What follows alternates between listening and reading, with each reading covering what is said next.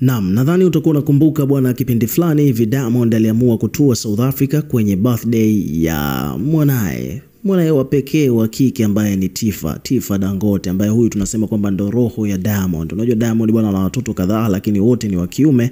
Wakizungumzia watoto wa kike bwana ndo huyu hapa Tifa. Sasa kitu ambacho tume notice bwana ni kwamba eh, Kipindi ambapo Diamond alivyoendaga South Africa kwenye birthday ya Tifa, kuliibuka mzozo, ugomvi kati ya Zari na mumewe Shakibu kutokana na kwamba Diamond alienda South Africa bila Shakibu kupewa habari, jambo ambalo lilikuwa linaonyesha kama vile jamaa aliona kama amedharauliwa kwa namna moja au nyingine. Umeona bwana, akiwa kama mwanaume lazima, kama kuna mtu anakuja kama mgeni, hususan mgeni mwenyewe akiwa ni mwanaume mwenzie, na ukiangalia wana history, wana watoto, alikuwa ni mtu na ex wake, ilikuwa ni, ni vyema yeye kupewa taarifa, lakini akupewa taarifa, kitu ambacho kikamfanya Shakiba akaona kwamba "Eh bwana, hapa jambo amna akaanzisha ngori, ikatrend sana. Zari akazungumza maneno ambayo alikuwa ni meusi kumuhusu Shakibu.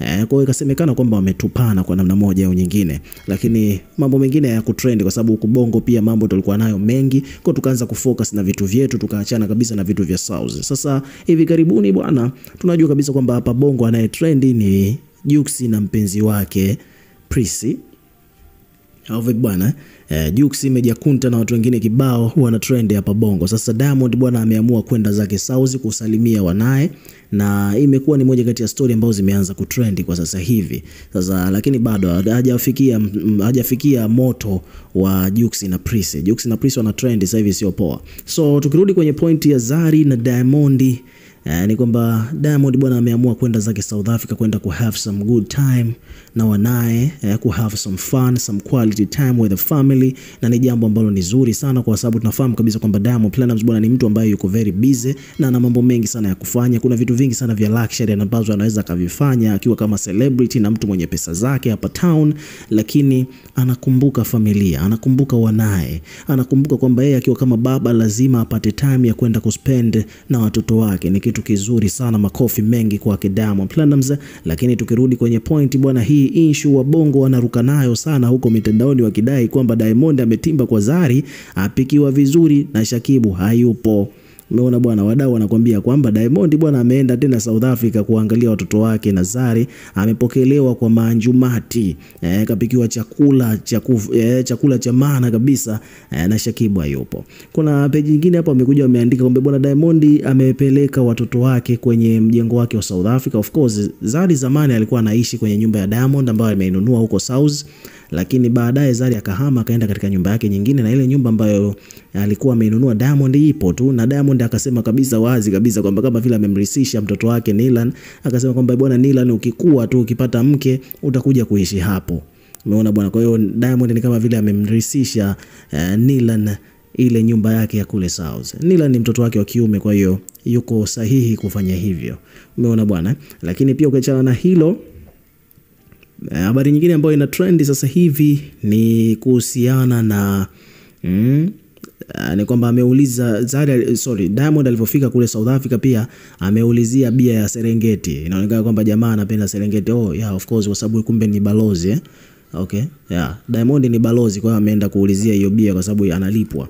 Ushaelewa? Kwa hivyo ndivyo mambo yalivyo. Sasa moja kati ya moment ambazo Diamond ameonekana akiwa na enjoy, nataka kwanza hapa usikilize the way ambavyo alivyokuwa amepakuliwa eh, misosi na, na bibie Zari. Nataka pa usikilize mm, Diamond alichokuwa anakisema. Eh, huyo eh, huyo ni wakina Nila ni hao na Tifa baada ya kumwona baba yao.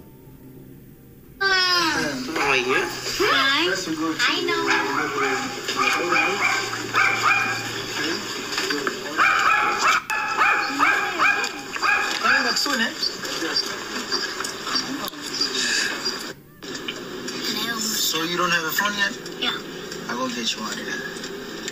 Spoil the kids. Yeah, but like why? Because they told me.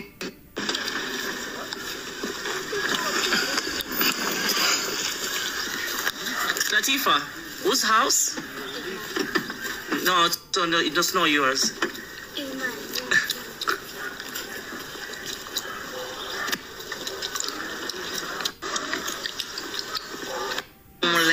kupika for us. I miss you. Natupikia nini leo? Trust me, the ah, yummy. Yeah, so hiyo ni moment ambayo E, mwishoni hapo ni kwamba bibi Zari ndo alikuwa anaandaa majumati, mambo ya misosi e, Diamond yuko ndani ya mjengo. Lakini pia ukichana na hilo eh, Diamond alikuwa anaulizia Bibi Serengeti. Yeah.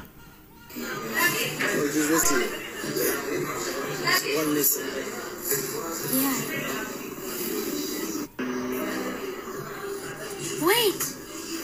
Ow.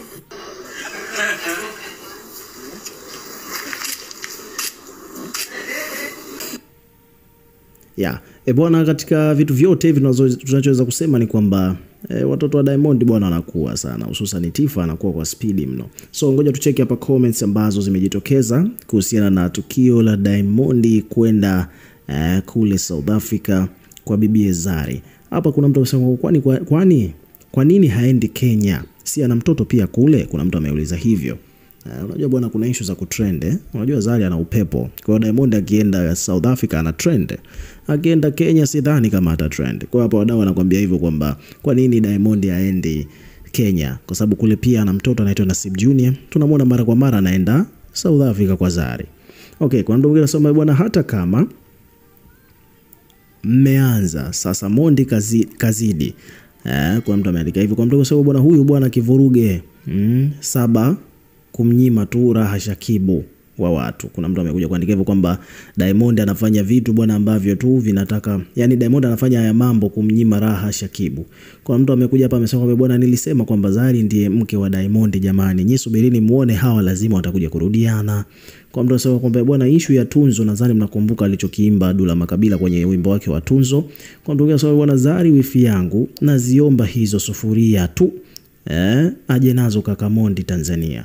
Kwa bwana, yote kwa yote eh, tunajua kabisa kwamba hawa ipo siku watakuja kurudiana. Kuna mtu mwingine hapa bwana, mimi sitokuja kuoa mwanamke mwenye mtoto Yaani nawaambia kabisa wanangu, msikubali kuoa mwanamke mwenye mtoto. Huyu anaitwa Maliki Zambiko amekuja kucomment hivyo. Yeah, of course mtu wanasemaga kwamba wazazi hawaachane eh? Eh, yani mwanamke akishakuwa amezaa na mtu it means kwamba huyo mtu atakuwa na, yani huyo mtu yupo kwenye maisha yake mpaka siku anafariki, kwa sababu wamezaa.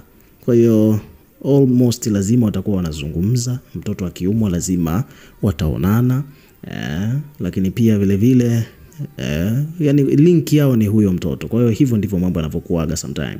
Kwa hiyo watu wengi sana uaga wanaogopa kuoa wanawake wenye watoto. So ukiwa kama mdau na wewe pia una maoni gani, weka maoni yako hapo chini katika comment section, tutakuwa tukisoma na kureplay kila comment, na pia subscribe kwa ajili ya kupata update zaidi.